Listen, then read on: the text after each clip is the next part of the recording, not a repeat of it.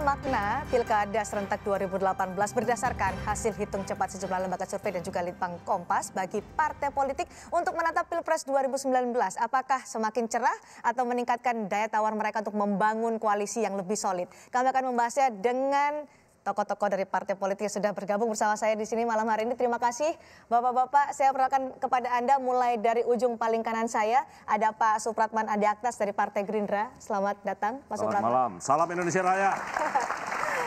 Sepertinya bahagia sekali hari ini Pak Supratman. Di sebelah Pak Supratman ada Pak Pipin Sopian, Ketua Bidang Politik dari DPP PKS. Selamat malam. Waalaikumsalam. Dan kemudian ada Pak uh, Ibnu Munzir. Oh Bapak, maaf dari uh, Pak Inca Panjaitan. Maaf, saya agak-agak ini terdistract Selesaikan nih. Ada Pak Inca karena Partai Demokrat ini seperti hari ini juga sedikit tersenyum, terutama di Jawa Timur. Pak Inca dari Partai Demokrat, kita beri tepuk tangan Selamat malam. Pak Inca. Kemudian di sebelah kiri saya ada Pak Saleh Daulay dari Partai Amanat Nasional yang ditemani oleh Pak Ibnu Muzir dari Partai Golkar dan Ibu Dian Kaloka dari PDI Perjuangan. Yang Merdeka. tersenyum tadi seperti saya sampaikan tadi ada dari paling ujung saya nih Pak Supratman Andi Aktas dan Pak Pipin ini karena surprise yang diberikan di Jawa Barat yang akhirnya bisa membuat orang-orang ini terkejut di detik-detik terakhir. Rahasianya apa sih sebenarnya Pak Supratman? Baik, terima kasih. Pertama, Pak Supratman dulu nanti Oh. Pak Pipin. Nah, karena ini ini partai yang kompak nih karena jawabnya Iya, iya. aja bareng-bareng. Silakan Pak kita, kita sekutu. Sekutu, Sekutu ya. Pertama saya ingin menjelaskan begini, soal Jawa Barat, hasil pilkada pada hari ini ya itu dalam hasil quick count yang mengunggulkan pasangan eh, Ridwan Kamil dan pasangannya ya kita patut hormati walaupun sampai saat ini kita tetap harus menunggu hasil resmi dari KPU. Tapi sebenarnya yang terbaca dalam hasil quick count yang ada di Jawa Barat itu memperlihatkan bahwa eh, kehadiran Pak Prabowo bersama dengan teman-teman dari Partai Gerindra dan bersama dengan PKS itu ternyata bisa memutarbalikkan fakta dari semua lembaga survei sebelumnya. Ini faktor Pak Prabowo menurut Anda? Ya itu itu pasti. Artinya bukan hanya di, di, di Jawa Barat. Pak Prabowo pasti mempunyai pengaruh yang cukup besar terhadap dunia perpolitikan nasional kita dan itu tidak bisa di- dipungkiri karena bagaimanapun hasil survei di semua lembaga survei juga menyatakan bahwa kandidat yang eh, apa namanya calon presiden yang memungkinkan untuk bisa berhadapan dengan eh, Pak Jokowi hari ini ya Pak Prabowo Subianto. Dan kami yakin bahwa dengan hasil pilkada sekarang, karena kan se- sementara dengan seperti yang disampaikan oleh kawan-kawan dari SMRC tadi menyatakan bahwa sangat sulit untuk menentukan kemenangan bagi partai-partai untuk mengklaim kemenangan pada pilkada pada saat Oke, ini. saya menggarisbawahi ini adalah faktor Prabowo Subianto di uh, su- uh, ke- surprise ya kejutan yang diberikan oleh pasangan Asyik yang menyodok hingga ada di posisi dua versi uh, Litbang Kompas dari hasil hitung cepat. PKS sepertinya tadi senyum-senyum ketika disebutkan ada Prabowo efek di Jawa Barat. Ya, saya kira saya tidak mengurangi tetapi menambahkan. Jadi yang terpenting kita harus melihat bahwa survei ini menunjukkan bahwa untuk yang ketiga kalinya hasil survei itu dikalahkan oleh quick count dan hasil pilkada Jawa Barat meskipun belum selesai.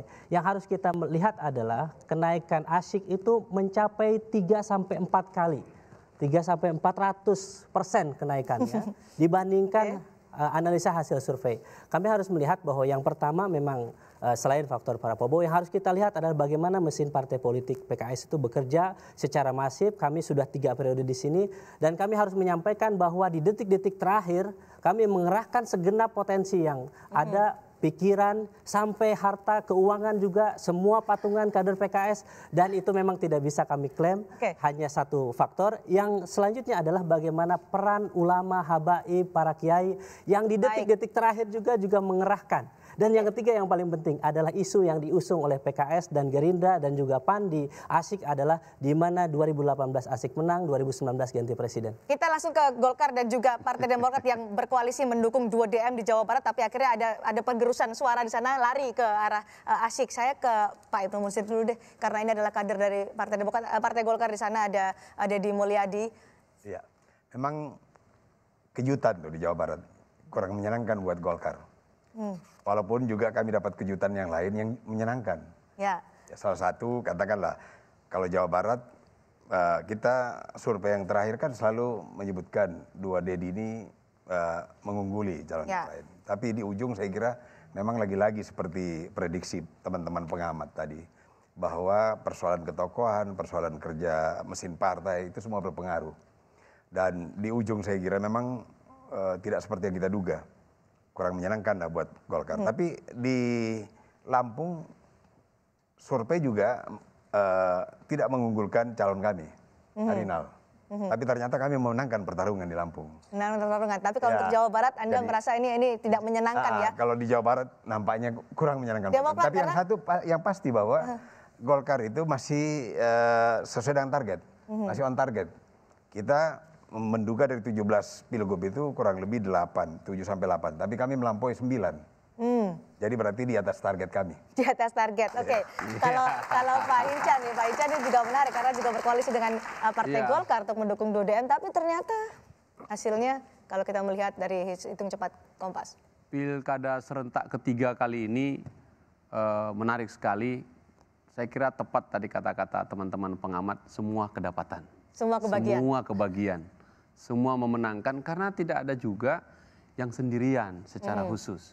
Kalau tadi kita bicara teman-teman tadi Jawa Barat, tadi sudah dibuka misalnya kita juga gembira betul di Jawa Timur bersama teman-teman misalnya. Tapi juga kan nggak sendirian. Demikian juga tadi di Jawa Barat. Nah kalau kita lihat angka teman-teman di Jawa Barat yang tadi melejit di dua minggu terakhir barangkali kalau boleh disebut seperti itu. Tapi memang paling tidak enak juga kalau mana lebih enak gitu ya, nyaris menang atau nyaris kalah begitu ya. Nah kalau lihat angka itu tadi. Tapi kalau kita lihat pasangan 2D DD ini Ya. yang kami bersama-sama teman Golkar, eh, mesin partai bergerak habis-habisan juga. Bahkan sampai di ujung kita duduk sama. Kan? Tapi memang faktor eh, tokohnya, faktor masyarakatnya, dan perubahan di detik-detik akhir di tiga kali 24 jam itu pun sangat berpengaruh. Mengejutkan ya, Pak Hinca? Nah, kata mengejutkan ini memang menjadi tantangan daripada pengamat, juga Mhm. bagi para lembaga survei, bahkan mungkin partai politik. Ya. Ada apa ya di, di Jawa Barat? Kenapa kok bisa tiba-tiba pasangan nomor tiga ini melejit? Terlep- Terlepas tadi yang dijelaskan gitu. Karena ini juga tantangan bagi lembaga survei ini yang mengejutkan gitu. Nah, bagi kami pun tadi sepanjang sore hari ini saya kira hampir semua partai Mhm. melakukan di war roomnya masing-masing untuk me- mengecek dan memperhatikan Komparasi juga ya.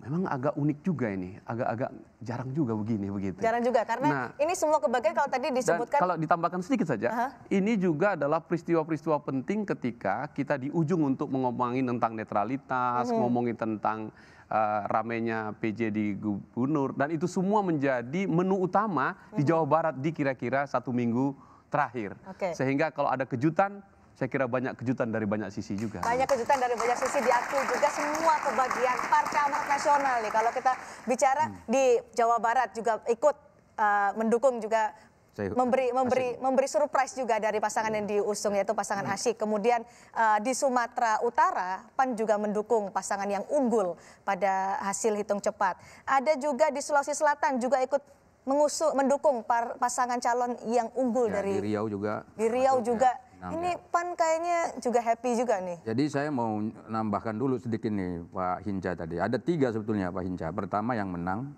hampir menang dan yang kalah. Ya, ya, ya, ya, ya, ya, ya. Jadi kalau kami tadi itu di Jawa Barat itu kan ada tiga partai itu Gerindra, PKS sama PAN. PAN. ya.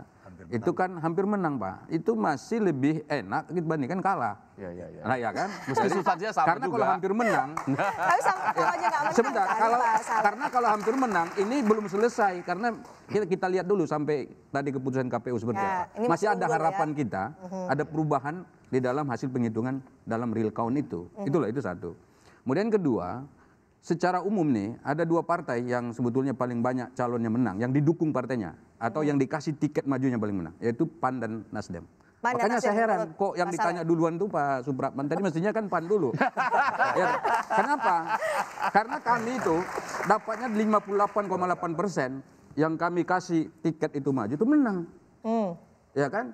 kalau- 58,8 persen dari mana? 58,8 persen Dari yang mana? dari Anda bisa semua survei.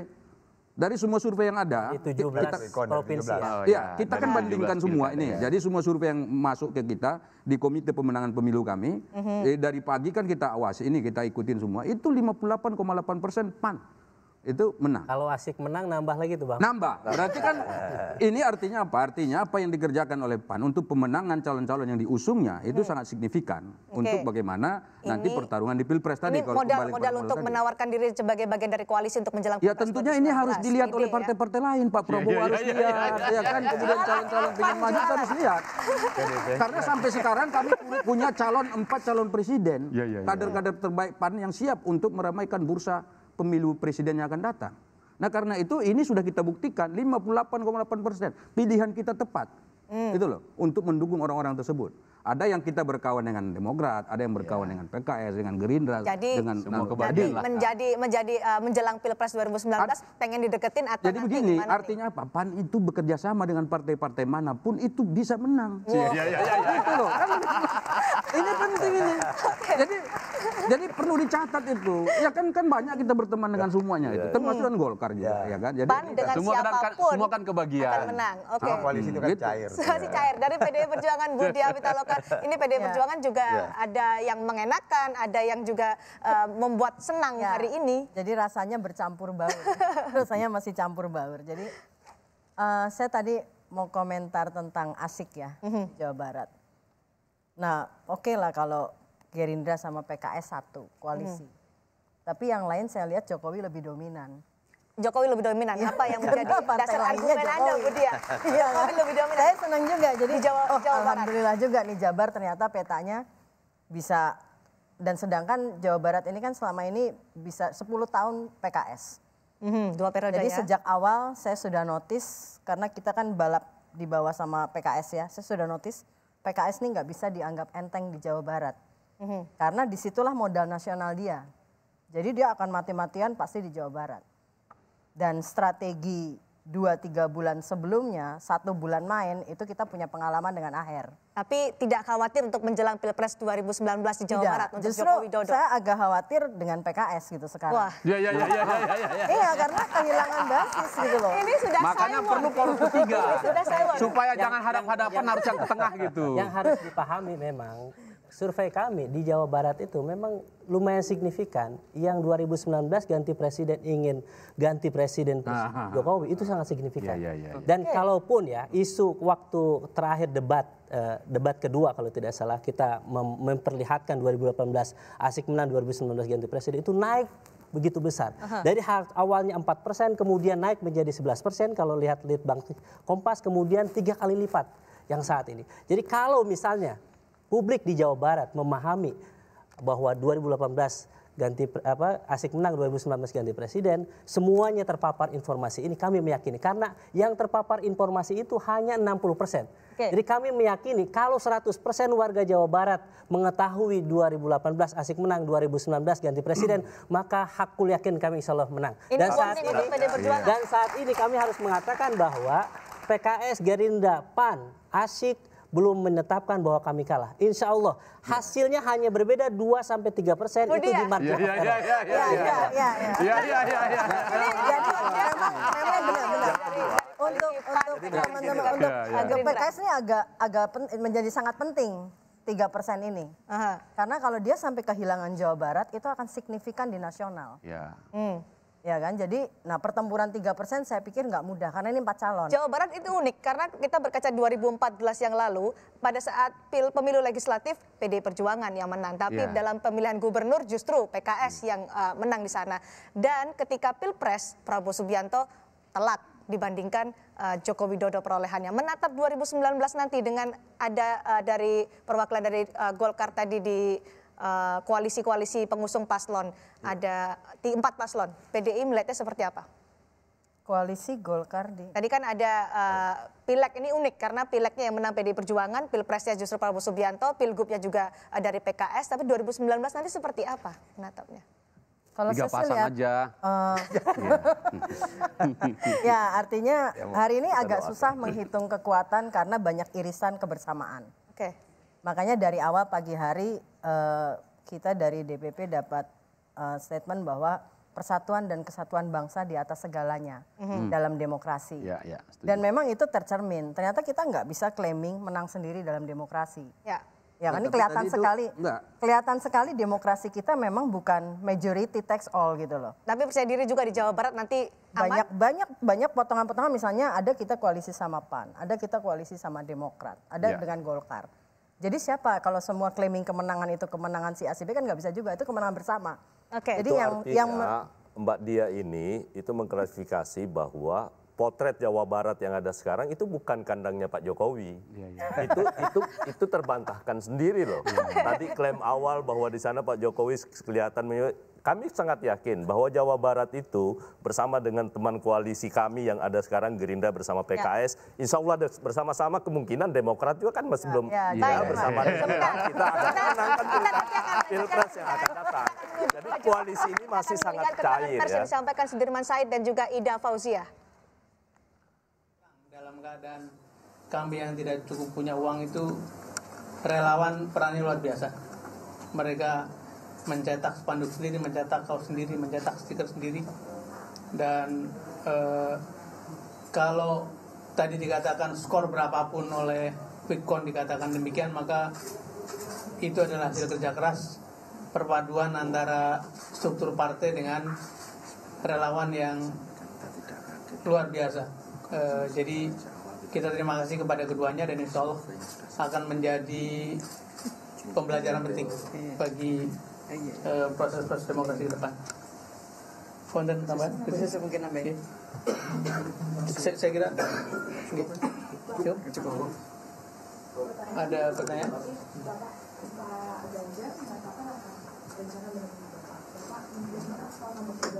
Iya kita kita ketemu setiap saat tapi nanti. Kita tata waktu karena menurut saya tidak boleh tergopoh-gopoh ya. Eh, tadi kita lihat seluruh proses kemudian setelah selesai resmi semuanya baru kita bisa bersikap resmi. Tapi sebagai teman sih komunikasi nggak ada masalah di mana-mana lewat Kapan telepon saja. lewat kapan saja. Tapi dalam pengertian sebagai satu apa namanya komunikasi politik resmi barangkali kita lihat waktunya nanti. Berarti hingga kini belum ada komunikasi dengan Pak Ganjar ya Pak?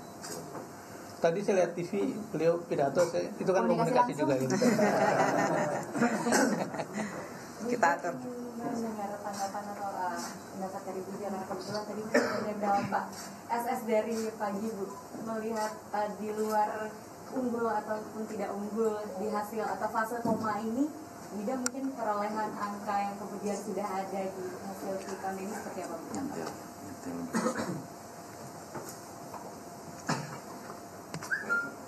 Eh, Quickcon ya sebagai alat bantu ya untuk merekam sementara. Saya kira memprediksi dan eh, memprediksi dan mungkin ya merekam eh, eh, pergerakan suara. Ya tidak terlalu kaget sih eh, dengan quickcon quickcon itu. Saya juga eh, sejak awal hasil survei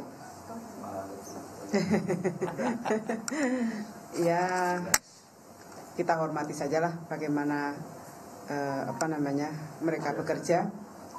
Saya kira nanti eh, pertanggungjawaban teman-teman eh, konsultan lembaga survei itu ya kepada masyarakat secara keseluruhan ya.